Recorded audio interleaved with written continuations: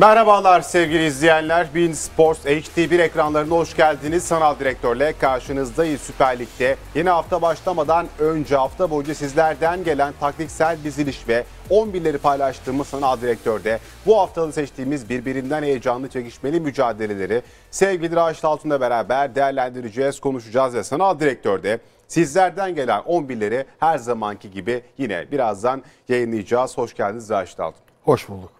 Evet sevgili izleyenler, Raşit Altun'la birlikte mücadeleleri konuşmayı, değerlendirmeye başlayacağız. Tabi birazdan derbi de konuşacağız ama önce Hatay Spor Fraporta Antalya Spor diyoruz. Hatay Spor Fraporta Antalya Spor mücadelesinde sizlerden ne gibi 11'ler geldi bunları birazdan konuşacağız ama her zamanki gibi önce bir haftanın genel görünümüne bakalım. Süper Lig'de puan durumu ekranlara geliyor. İşte Trabzonspor'un 30 puanla liderliğiyle devam ediyor hafta ki birazdan konuşacağız. Hatay Spor 23 puanla yine ikinci sırada yer alıyor.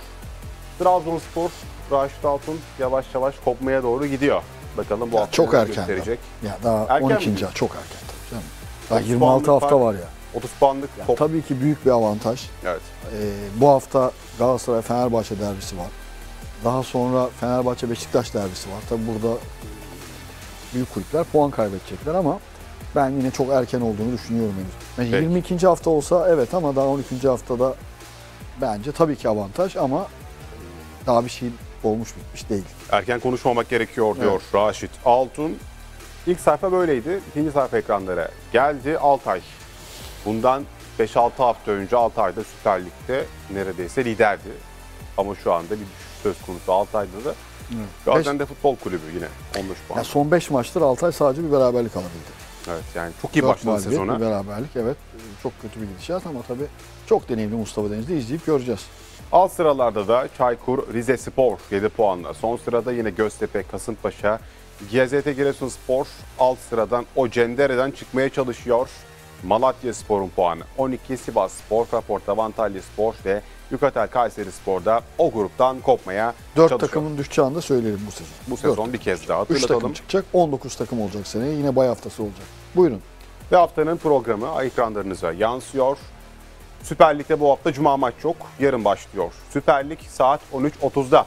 Atakaş Hatay Spor, Fraporta Vantalya'lı Spor mücadelesiyle Medipol Başakşehir saat 16'da Demir Grup Sivas Spor'la karşı karşıya gelecek. GZT Giresunspor, Özgür Kablo. İl Malatya Spor mücadelesi yine saat 16'da. Haftanın bence en keyifli mücadelelerinden biri derbiden sonra Aytim Zalanya Spor Beşiktaş maçı olacak gibi değil mi? Evet. Ben çok merak ediyorum sonucun mücadelenin. Yine pazar günü Kasımpaşa, Karagümrük. O da bir derbi tabii. Hem de semt Lokal derbisi. derbi, semt İstanbul'da ve şey geçer yani. Ee, Heyecanlı geçer yani. Bir rekabet var Kasımpaşa ile Gördük Kasımpaşa taraftarların röportajında Evet. hafta içerisinde. Altay, Adana Demirspor ve pazar günü saatler 19'u gösterdiğinde Türkiye'de hayat yaklaşık 2 saatliğine duracak ve Galatasaray Fenerbahçe dev derbide kozlarını paylaşacaklar. Derbinin sonucu da merakla bekleniyor.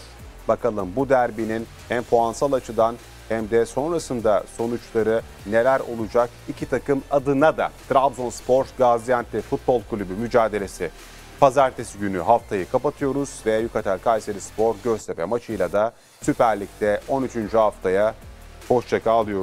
Raşit Altun. Sevgili izleyenler Hatay Spor, Fraporta Antalya Spor mücadelesiyle sanal direktöre başlıyoruz. Hatay Spor'da bakalım sizlerden gelen oylarla birlikte nasıl bir 11 şekillendi ekranlarınıza geliyor. 4-2-3-1 oyların çoğunluğunu aldı. Her hafta olduğu gibi Hatay Spor'da ekranlara Hatay Spor'un kalecisi geliyor. Winner %94'ünü aldı oyların. Her hafta olduğu gibi yine rakiplerine Ligin de en iyi kalecilerinden biri gerçekten. Zaten milli takım kalecisi. E, burada tabii iki yerli, o da çok önemli. E, üç yerli oyuncu hakkının ikisini stoperlerde kullanıyor Ömer Erdoğan. Burak'ı da biliyorsun Sakaryaspor'dan aldılar. Aslan Evet. gibi de oynuyor. Bekler ekranlara geliyor. Sağ bekte Kamil, Kamil Ahmet Çörekçi ki Kamil Ahmet'in de ben formunu Hatay Evet. Spor'da yakaladığını Evet Ee, ve üç, düşünüyorum. yabancı, İyi de oynuyor. üç yerliyi de kullanmış oldu. Stoper hattında. Böylelikle Defans ne oldu? hattında. Evet, ne oldu böylelikle? Hocanın eli Tabii ki. tüm hücum avantaj. anlamında Evet. avantajı çevreli yabancı oyuncu konusunda ön libero. bakalım iki ön libero'da Bucema ve Ribeiro da bence Süper Lig'in en etkili orta sahalarından biri. Ribeiro, Bucema ikilisi. Tabii önlerinde oynayan isimlerle de beraber. Mutlaka özellikle Ribeiro hakikaten çok özel bir oyuncu. Traore yine %28'lik Evet. bir oyu var. Takımın deneyimli isimlerinden Traore. Çok fazla zorlayamadı hücumda baktığımız zaman oylara da. Emre %12, Evet, Emre Saki Çolak evet. %10'luk bir oyu var. Daha büyük yani daha e, Emre Çolak'tan bir patlama yapmasını ya da en azından ilk 11'e girmesini bekliyorduk açıkçası ama Henüz o istenen, olmadı. beklenen çıkışı yapamadı gibi Emre. Lobyanidze %87 ki Süper Lig'de sezonun Evet. en iyi toplarından birini oynuyor. Evet, Lobyanidze. iki, iki kanat El Kabi de iyi. Lo- Lobyanitse de hakikaten Hatay'ın ofansif olarak çok güçlü iki kanat forveti. Ve hücum hattında ise Atakaş Hatay Spor'da Diouf yine yerini koruyor. %72'sini aldı oyların. Ya baktığımız zaman izleyenlerimizden gelen oylarda da Hatay Spor'un e, hani böyle ezbere sayabileceğimiz bir 11 Neredeyse şu anda bir var, gibi. Neredeyse Bu da, bu da iyi bir takım. demek. 9-10 oyuncuyu Evet. sayabiliyoruz rahatlıkla Hatay Spor'da. İyi bir takım demek. Tabii özellikle Diouf, El Kabi, Lobyanitse üçlüsü hakikaten yani rakip savunma için çok büyük tehlike. Diouf'un e, çok tecrübeli tabii e, bir oyuncu.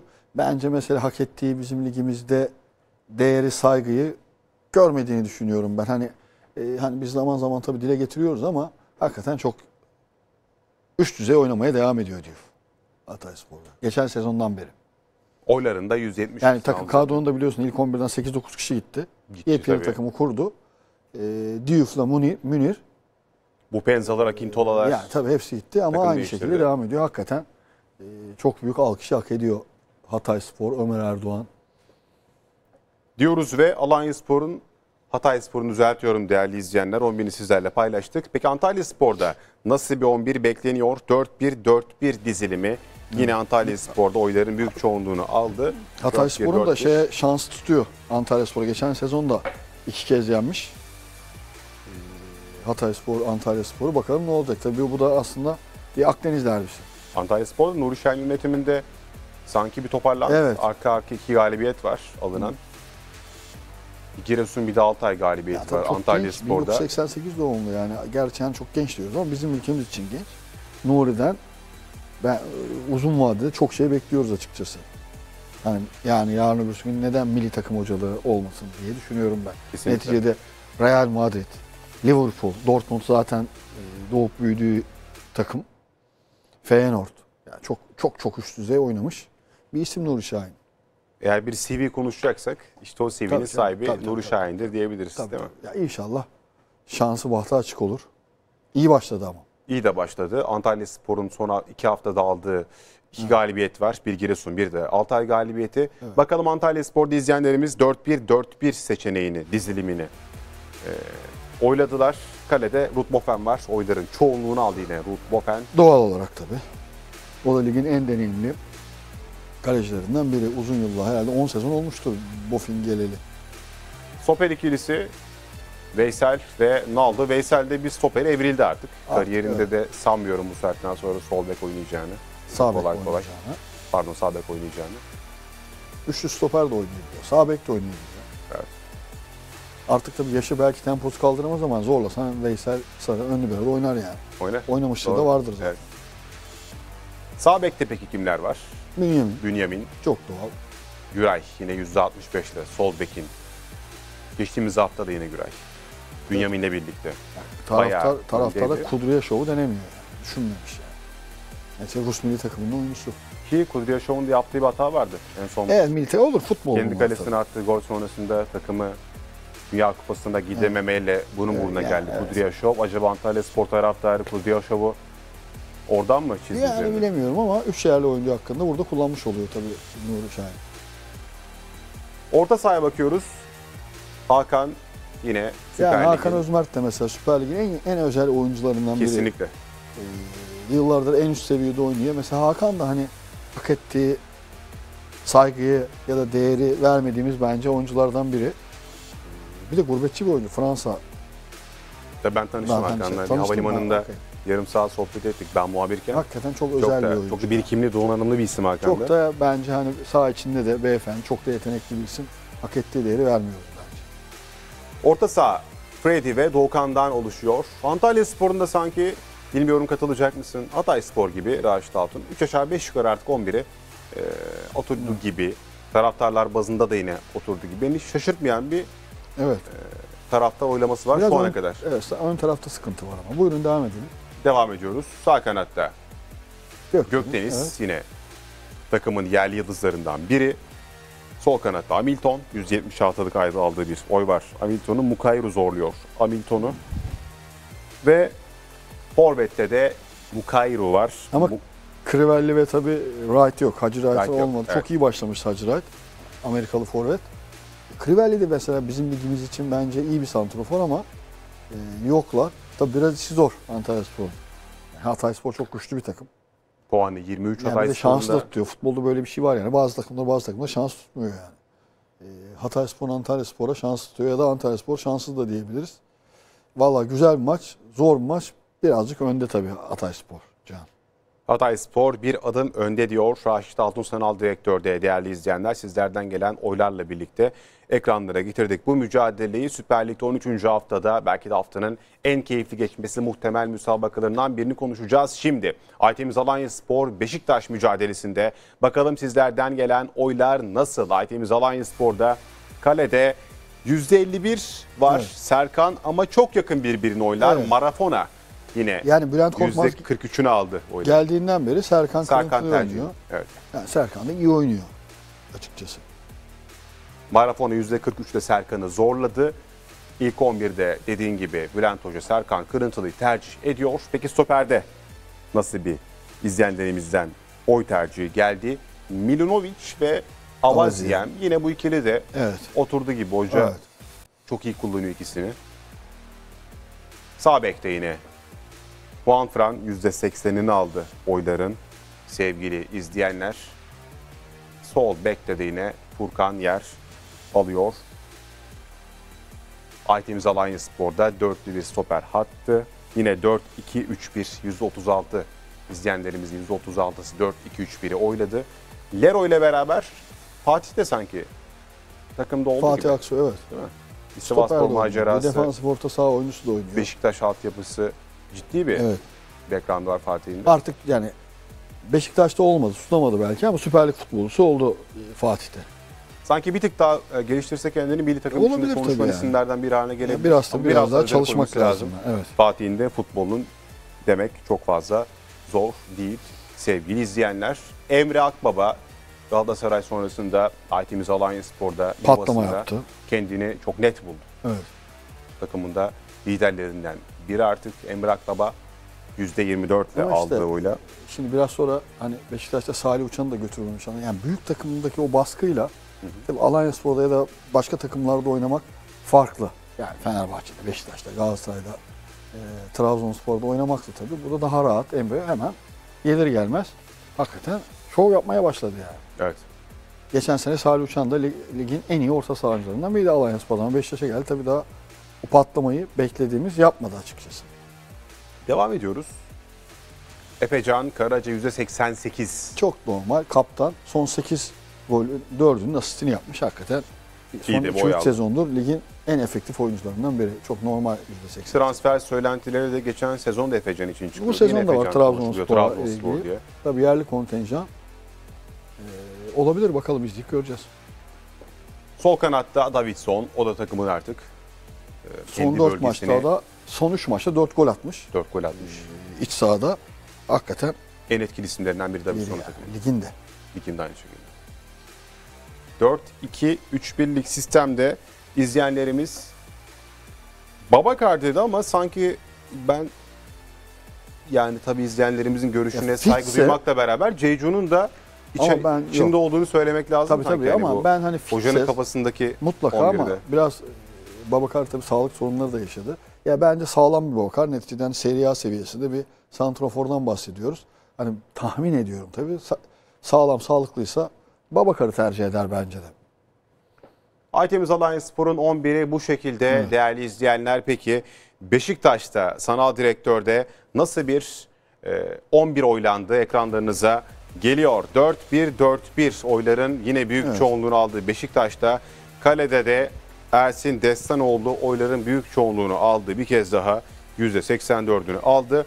Batshuayi, Salih Uçan, Gökhan ve En Sakala Beşiktaş'ta Artemis Alanyaspor mücadelesi kafilesinde yer almayan isimler Ya oldu. tabii her eksiklik önemli ama e, tabii Salih eksikliği, Gökhan Töre'de ama.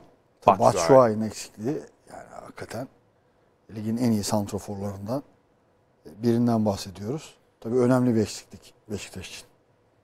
Ersin Destanoğlu %84 oy aldı. Stoper mevkiinde yine Vida ve Montero. Evet, İkilisi yani öne Vida çıkıyor. Montero şey yapıyor ama Şaşırttı seni taraftarlar... Wellington'ı bekler miydin? Valla Montero'yu Beşiktaş taraftarları daha çok tercih ediyor ama hani hoca daha çok Wellington ya da Necip'i düşünüyor.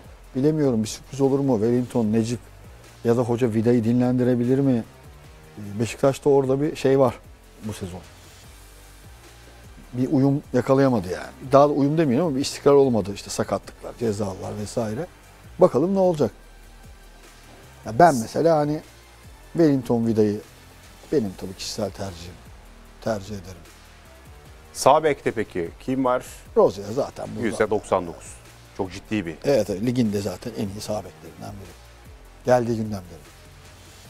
Sol bekte de yine Şimdi ekranlara burada geliyor. evet burada enteresan tabii özellikle Rıdvan'ın milli takım performansı. Cebeli Tarık performansı hakikaten. Öne çıkarmış Yani, demek ki Umut Meraş yani, da- tabii. Mesela Umut da iyi oynadı. Özellikle derbide Galatasaray maçında hakikaten çok çok iyi oynamıştı ama tabii Cebeli Tarık maçındaki Rıdvan'ın iki asisti yani hakikaten asist aldı hat topları. E bir de tabii neticede Beşiktaş altyapısından yetişmiş bir oyuncu. Her kulübün taraftarı altyapıdan yetişmiş oyuncusuna daha sıcak sempatik bakar. Bence Rıdvan da hak ediyor. Tabii göreceğiz yani. Hoca zaman zaman tercih etmiyor çünkü. Ee, Sergen Yalçın. Bakalım Rıdvan mı Umut mu ama ben de Rıdvan olur diye tahmin ediyorum tabii bilemiyoruz. Ki dramatik bir Trabzonspor mücadelesi oynadı Beşiktaş. Evet. Milor öncesinde. Umut Meraş da yine Trabzonspor maçında 11'deydi. İzleyenlerimiz Rıdvan'ı Rıdvan'ı tercih, tercih ettiler. Dediğin gibi milli takımdaki performans Rıdvan'ın hiç kuşku yok. Çok Ya bir önemliydi. de bir de yani tabii yine tekrar söylüyorum. Tabii altyapıdan yetişmiş oyuncu her zaman taraftarın gönlünde bir adım önde oluyor. Bu da bir gerçek yani. Her kulüp için bu. Orta saha. Yine Josep de Souza Ya, tabii Çok %32 normal bu da burada. aldığı bir oy var.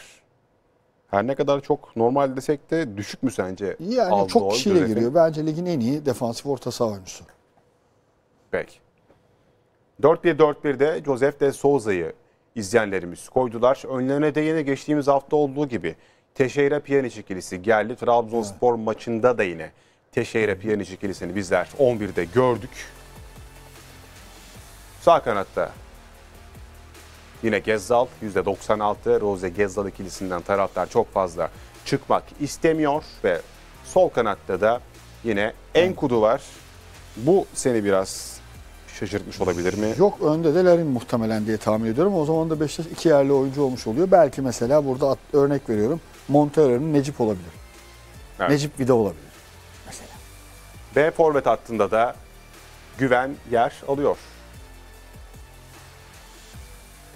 Yani seni şaşırtmadım Ben hala. şaşır- O zaman şey, ben yanlış düşünüyorum. Yok ben şaşırmışım diyeyim. Ben şaşırmışım. Yani Larin'i izleyenlerimiz çok fazla değerlendirmedi. Hem sol kanatta hem de forvette Larin'i görmedi izleyenlerimiz. Yani enteresan bilemiyorum. Yani Beşiktaş'ın son 3 lig golünü atan oyuncu. Yani ligin en iyi oyuncularından biri. En değerli oyuncularından biri ki sezon sonu sözleşmesi bitiyor. Yani Kanada milli takımından geldi belki hoca. Belki o yüzden hani... ya taraftarlarımız Ya- Sergen Yalçın gibi mi acaba düşünmek Evet ama yani biraz? şimdi tabii bu kadar üst düzey oyuncular artık olu yani sürekli gidiyor geliyor Kanada milli takımına. Larin. Atiba da Kanada milli takımında en çok forma giyen futbolcu oldu son maçta. Bu arada Atiba da geçen sezon Alliance Spor maçında Nisan'da 3 asist yapmıştı. Ee, 3-0 biten maçta 3 Evet. asist yapmıştı. Evet hatırlıyorum. Ee, onu da mesela hani hani ben Atiba için evet hani bu kadar mesafe uzun ama Larin için açıkçası çok fiziksel olarak inanılmaz bir oyuncu. Hani ben oynayabileceğini düşünüyorum ama zaten hani 3 yabancı oluyor. Şey- Şey 3 yerli olmuyor o zaman. Evet. Belki ama e, önde Larin şey e, Larin'in yerinde önde güven ya da güveni solda öndelerinde olabilir. Ya maç içinde de değişebilir tabii bu. Peki. Bu maçı da konuştuk. Değerli izleyenler, kısa bir ara ara sonrasında sanal direktörde Raşit Altun'la birlikte derbi konuşacağız.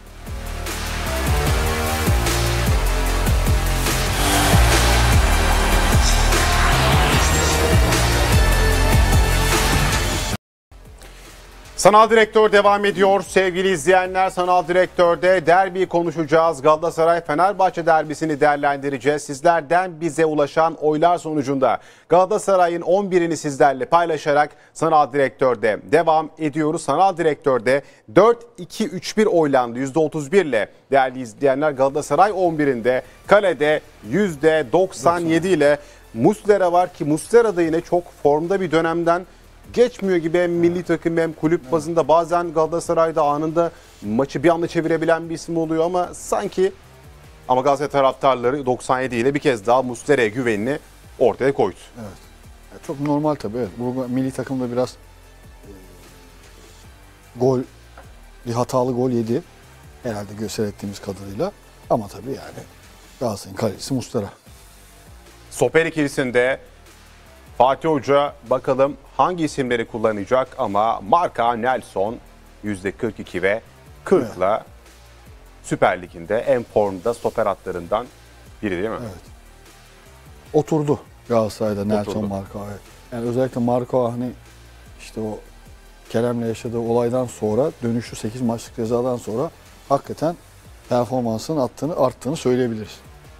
sevgili Kutlu Akpınar'a verdiği özel röportajda da yine Marka zaten e, Nelson olan uyumundan bahsetmişti. Evet. Son derece iki oyuncu uyumlu bir grafik ortaya koyuyor. Beklere bakacağız. Sağ bekte bakalım sanal direktörde Yedlin %89 oylandı. Tabii o da Amerika milli takımından e, dönüyor ama işte artık profesyonel futbolda bunlar var yani. Alparslan çok düşük oy aldı. Evet yani. Hemen hemen her mevkide yüzde Saşa Boy'un da sakatlığında yedilik bir oyu var Alparslan'ın. belki Oğulcan'ı denedi Fatih Terim hazırlık maçında Bursa Spor maçında. Ama bilmiyorum tabii derbide e, öyle bir karar verir mi? Şu anda görünen Yedlin. Sol bekte Fatih Van Aanholt %88 düzeltiyorum. Evet. Aldığı bir oy O var. Avrupa Şampiyonası'ndan sonra milli takıma çağrılmıyor. Çağrılmadı Hollanda milli takımına. Evet çağrılmadı. Fan, yani Fanal düşünmüyor. Düşünmüyor. Gördüğümüz Türkiye kadarıyla. yani işte o Fanal. milli arada e, söylediğimiz gibi hazırlık maçında oynadı. Dörtlü stoper hattı böyleydi. Derbide sanal direktörde sizlerin oyları buydu.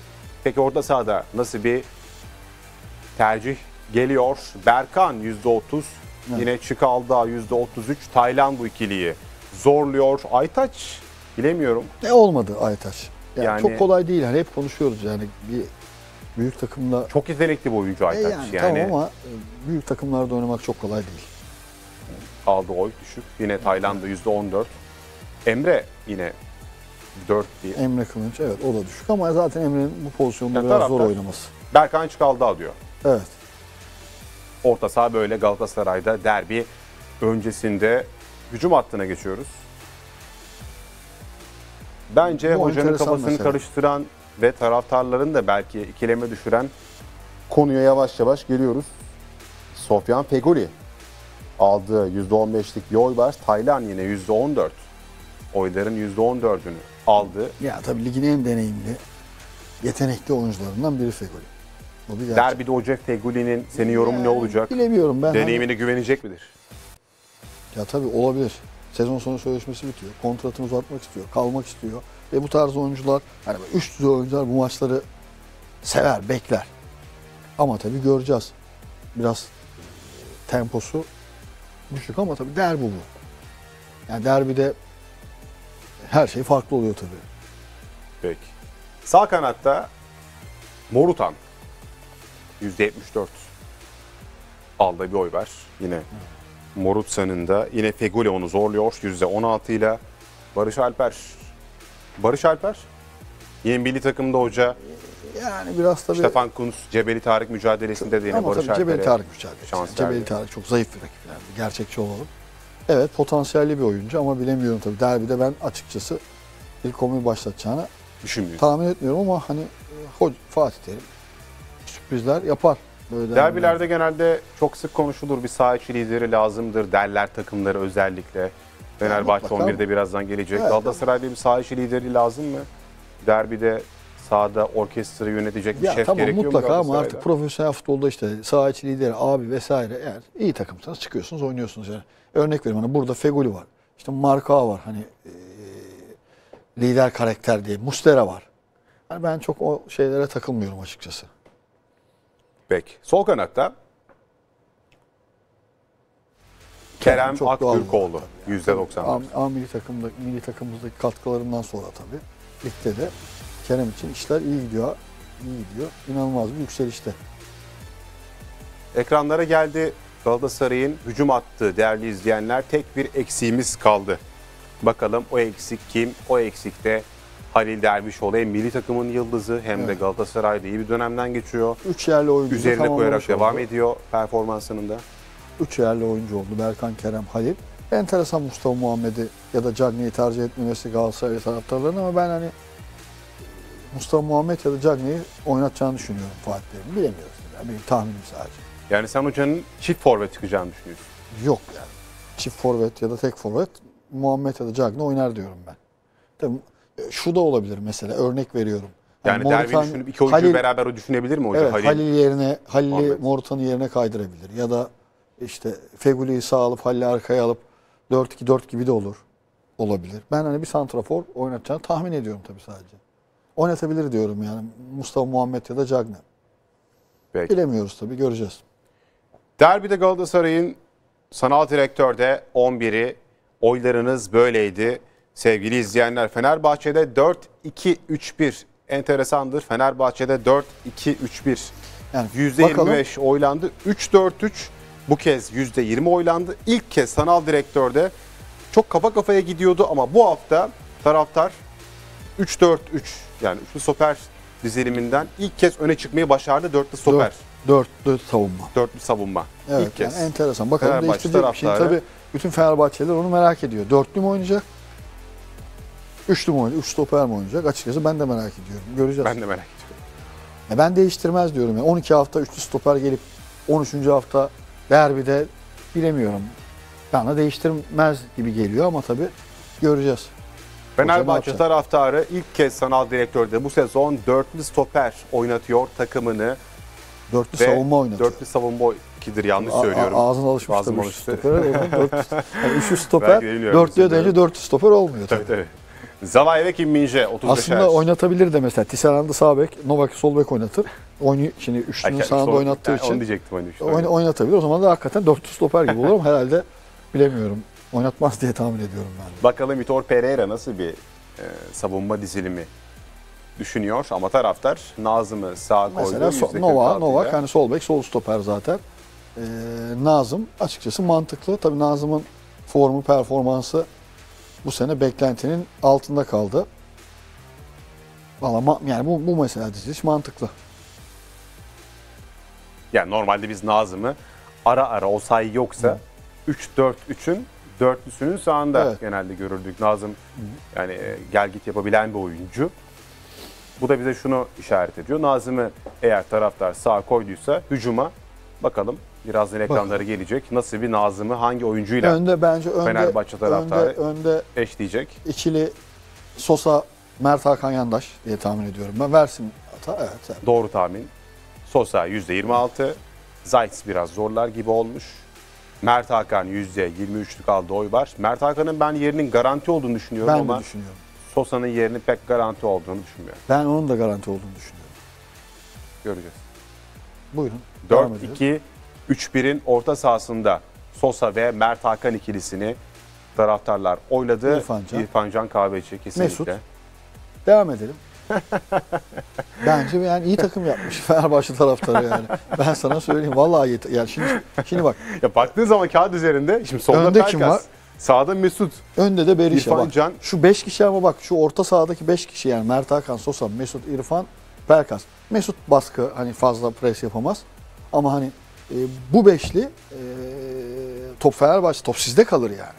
Bu beşliden de topu alamazsınız yani. Çünkü Sağlam pres, sağlam baskı yapması gerekir Bak rakibin. ben derbiyi de geçtim. Haftalardır hangi Fenerbahçe taraftarında çevremdeki işte akrabalarımız, eşimiz, dostumuz kime sorsam bana çıkardıkları 11 bu. Bu- Bak ya gerçekten belki bu. şurada Pelkas'ın yerine Ferdi olabilir mesela gibi. Ya da Belki. Mesut'la İrfan Can yer değiştirir. Yani Mesut ortada, İrfan Can Ya da sağda belki olur. Mesut, İrfan Can ve Berişalı bir üçlü at. Belki Mesut, İrfan Can, Berişan'ın ileride mesela, tabii, tabii, o da olabilir bir ya, üçlü tabii, gibi. o. Ya da belki de. Ama Valla bence güzel kadro çıkarmış sevgili Fenerbahçeliler. ekranlara da geliyor. Ben yani hayır dem, demem Peki ben baktığın açıkçası. zaman bu 11 Galatasaray orta sahasıyla şu da olabilir tabii. Belki birazcık o, Osayi Samuel de olabilir tabii. O da cezası bitti yanılmıyorsam. Tabii Evet. ama şu da bir gerçek yani. Ee, Şimdi derbide Altay, Gustavo ve Şimdi Valencia. yani özellikle Yok, Altay ve. Valencia'nın bence eksikliği ben çok büyük eksiklik. Bu bir gerçek.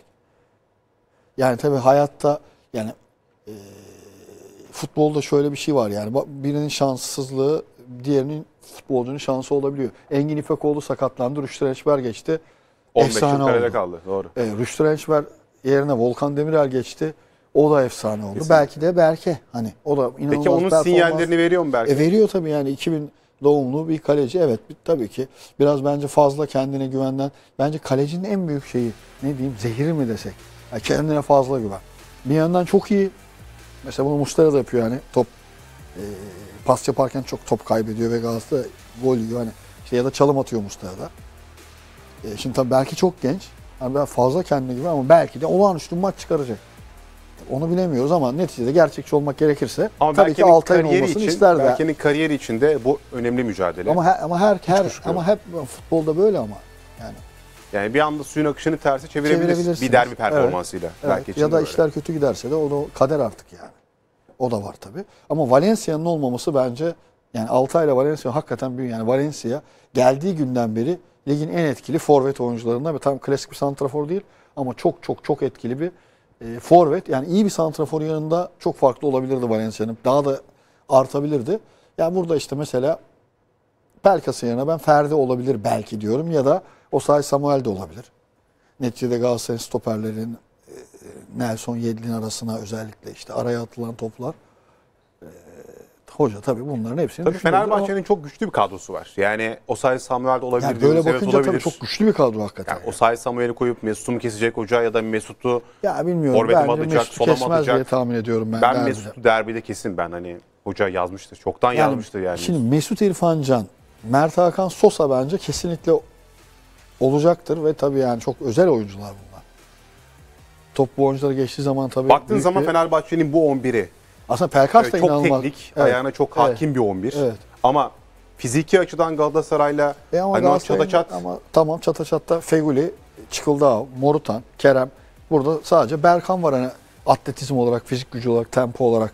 Yani bu kadrolardan tabii konuşuyoruz bahsederken. Gerçi Öyle baktığın zaman mesela yani. Çikaldao Sosa'yla Yani Sosa'dan çok mu e- önde eşleştirsen birbiriyle ha mesela Çıkıldağ, Sosa. Sosa eşleştirdi. Yani- çok mu önde fiziki açıdan? Tabii değil. Onu söylüyorum yani. O, Berkan, Mert evet. Hakan çok mu önde? Değil. Değil, Feguli, Evet. İrfan Can Mesut'la beraber hani bunları bu oyuncuları meç ettiğimiz zaman çok çok mu ön- önde? Sanki şu var- Morutsan biraz tüm 2-11'e de baktığımız zaman bir adım öne belki bir tık öne Morutsan'ı çıkarır.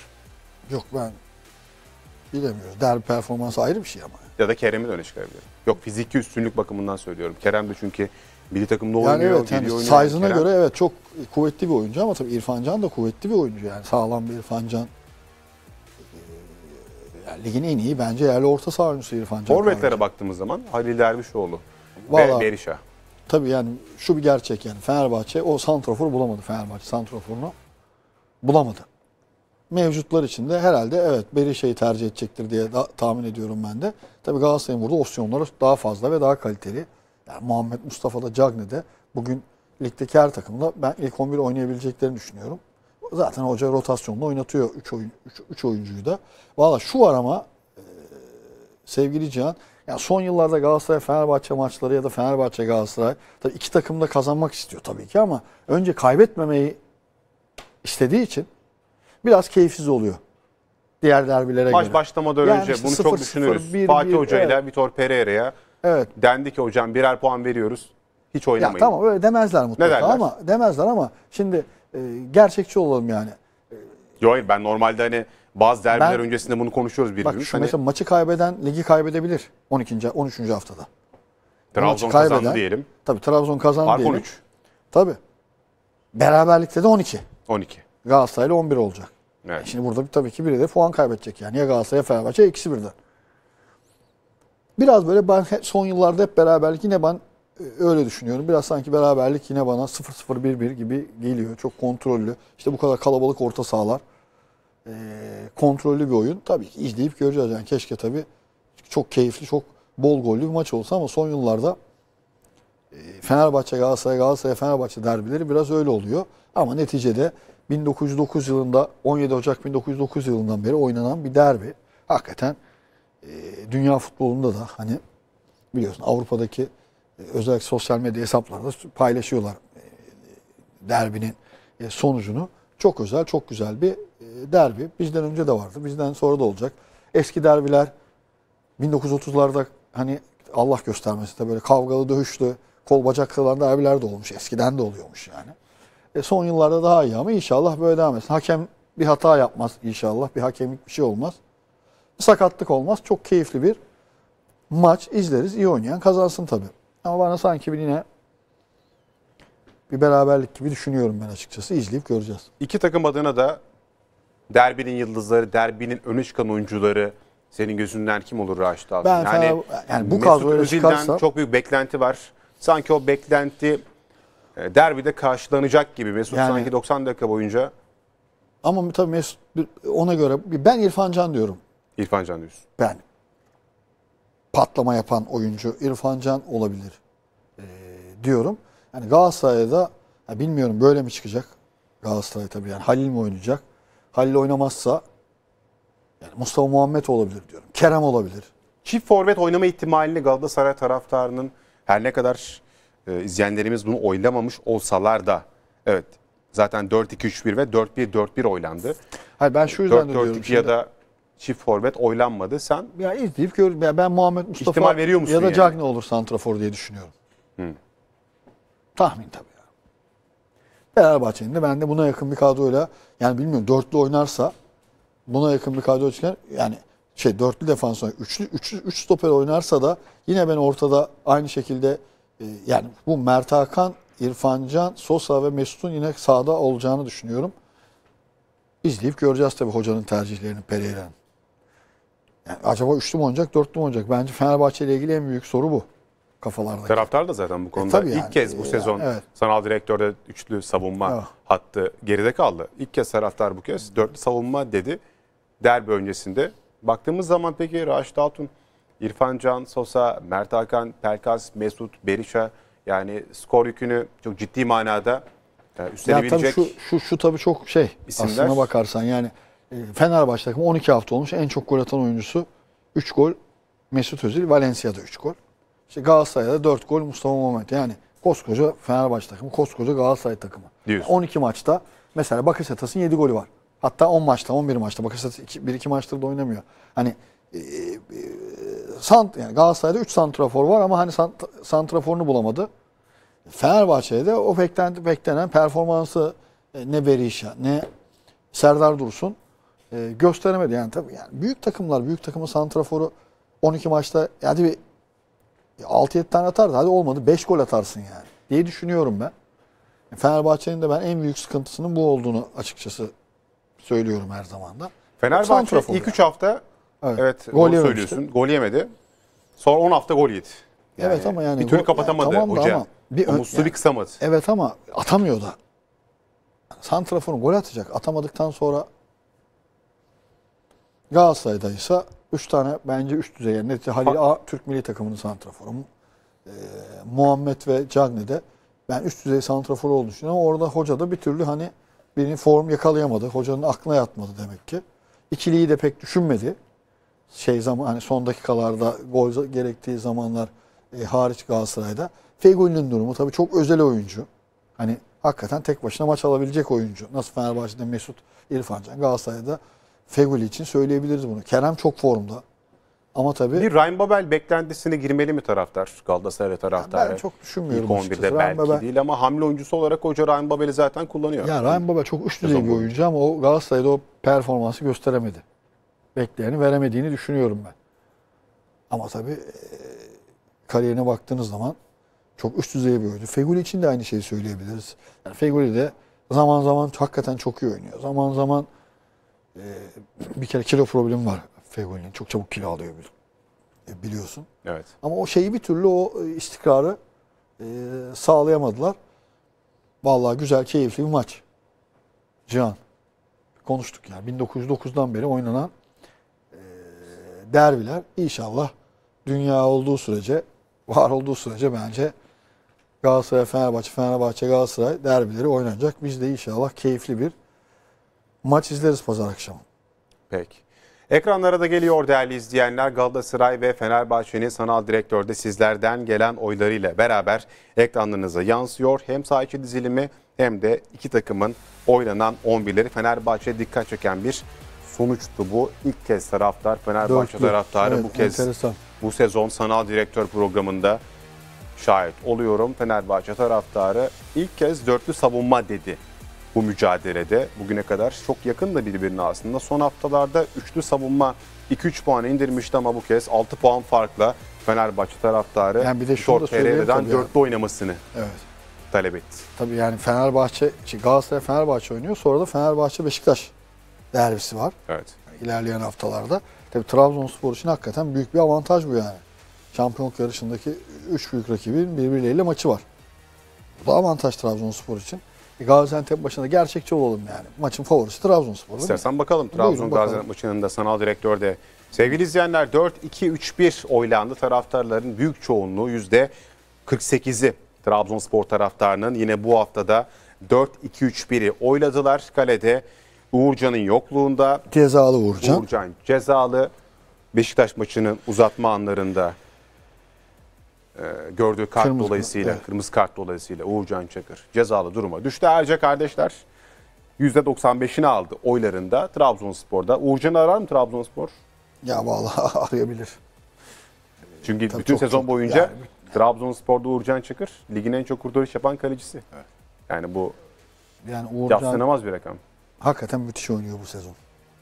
Bu da Trabzonspor'un pozisyon verdiğini gösterir aslında. Tabii aslında ama yani Uğurcan'ın da Performansının hakikaten üst düzey olduğunu. olarak da anatomik olarak da tam bir kaleci. inanılmaz Tamam. bir Üst düzey bir kaleci. e, kaleci. Yani Biliyorsun bizim yorumcumuz Volkan Demirel de 50 milyon euro olur dedi. Feyenoord'un kalecisi net olsa katılıyorum. 50 Volkan milyon Demirel, euro evet. dedi. Hani herhalde Volkan Demirel de anlıyordur kaleciden yani.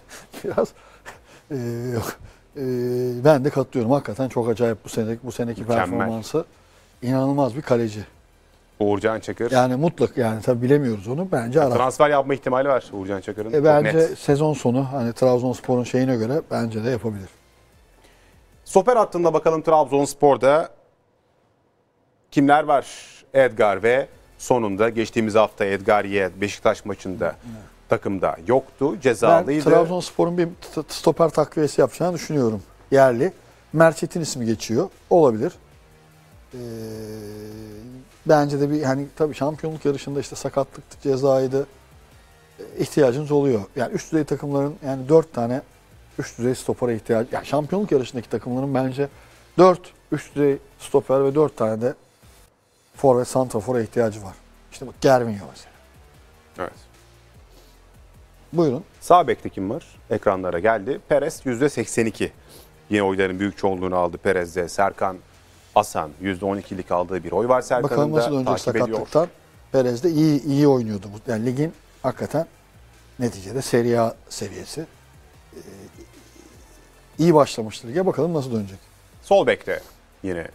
Trondsen %62. Ya Sini yani tabii olmadı. Burada da İsmail Köybaşı olmadı. Dansville denediler olmadı. Tronsen evet oynuyor ama hatalı. Buraya ya hatalı derken hani aksıyor. Buraya da Uğur Çiftçi'nin ismi geçiyor Sivas Spor'da. Evet. Gayet mantıklı bir isim. Yerli. Seneye biliyorsun dört yerli. Ee, bu transferde olabilir bence devre arasında. Trabzon Peki. için. Devam ediyoruz orta alanda. Trabzonspor'da Berat oyların %30'unu aldı. Hamşik'le birlikte. Yani bilemiyorum. Berat ben, Hamşik ikilisi öne çıkıyor ben de Trabzonspor'da. Siopis'in biraz hakkının yendiğini düşünüyorum burada. Hani Geçtiğimiz hafta da böyleydi. Beşiktaş yerli maçı de şey, böyle. yerli şey yoksa kontenjanda sıkıntı yoksa ben kesinlikle Siopis'i yazarım tahtaya. Kimin yerine? Hamşi'yi öne atarım. Hamşi'nin yerine. Siopis. Berat yaparım orayı. 4-2-3-1 yaptıkları için söylüyorum. Peki. Sa- solda sağda Abdül Kadir, solda Vakayeme, önde kimi koyarsan koy zaten o üçünün önüne. Bakalım ekranlarda geliyor. Raşit Altun kimi koyarsan koy dedi taraftar. Hangisini Abdülkadir Ömür. düşündü? Abdülkadir Ömür %19'unu aldı. Sağda kim var? %74'ünü aldı. Tamam işte ben diyorum ki Hamşik öne, %19'unu Siopis orta ortaya. aldı.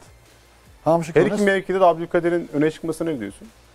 Ama yani milli takımda da Kerem'in attığı golde hakikaten aldı. At dedi yani.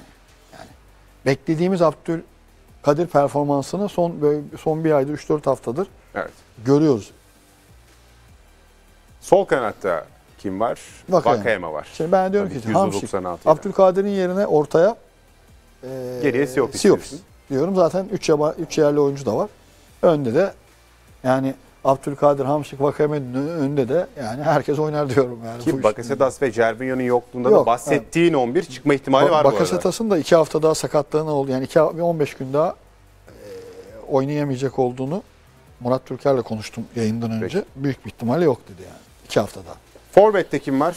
O isimse Trabzonspor'da Cornelius %52'sini aldı Evet, oyların. normal. Canini çok yakın. %40 aldığı bir oy var. Evet ama tabii taraftar da şimdi e, de, Beşiktaş maçından son dakika golü tabii e, Cornelius'u öne çıkarmışlar ama Cani'den de katkı alıyor. Tabii burada Koyta transferinde e olmadı. Çok biliyorsun sakatlık sorunu yaşayan bir oyuncu. Ama yani futbolda bunlar var. Bir kulüp transfer yaptı. Her zaman attığını vuramıyorsun yani. Bence bizim ülkemizde %50 bile başarı. %70 çok çok iyi zaten. Ama Koyta'da olmadı Trabzon için. Peki. Elde devre arası bir forvet oyuncusu. İşte Efecan Karaca'nın ismi geçiyor. Edin Visca'nın ismi geçiyor. Tellon'un ismi geçiyor. E, alacak Trabzon diye düşünüyorum ben de tahmin ediyorum. Trabzonspor'un 11'i böyleydi. Sevgili izleyenler geçiyoruz. Rakibinin 11'ine Gaziantep Futbol Kulübü'nde yine 4-2-3-1 %25 oylandı taraftarlar tarafından. Gaziantep Futbol Kulübü'nde kalede Günay var %87'sini aldı oyların. Hiç yenememiş Günay. Gaziantep Futbol Kulübü. İki, iki, yani Trabzon iki galibiyet, iki beraberlik. Stoper maç ekranlara geliyor. oynamışlar. Cilo Bocci ve. Kolkır. Evet, iki deneyimli stoper. iki deneyimli stoper. Sağ bekte Kitsiu var. Sol bekte yine Mendil var. Gaziantep Futbol Kulübü'nde taraftarların oyladığı 11. Böyle Kolkır da yine fena oynamıyor. Evet. Ciloboci ile birlikte fena performans ortaya Yani tabii yani. koymuyor. İngiltere milli takımı forması giymiş bir kere de olsa üst düzey bir stoper. Orta saha ekranlara geliyor. Merkel ve Doğan Evet. 20 ve 18 kaldıkları oylar var. Bu iki ismin de Gaziantep Futbol Kulübü'nde sevgili izleyenler. Devam ediyoruz. Maxim yine takımın geçtiğimiz sezonda olduğu gibi bu yılda en Yani üst deneyimli, düzey bir oyuncu. Yani Bundesliga seviyesi. üst düzey Roman milli isimlerinden takımının ilk 11 oyuncusu. Özel bir oyuncu Maxim. Evet. Diko %64. Sagal'ın aldığı bir oy var. %87'lik. Taraftar Sagal'a da yine güveniyor. Ve Forvet'te Süper Lig'in Yine Bence bence, bence en hakkı, iyi. evet hakkı yenen, hakkı yenen derken hak ettiği değer verilmeyen. evet, Bence milli takıma seçilmesi gereken.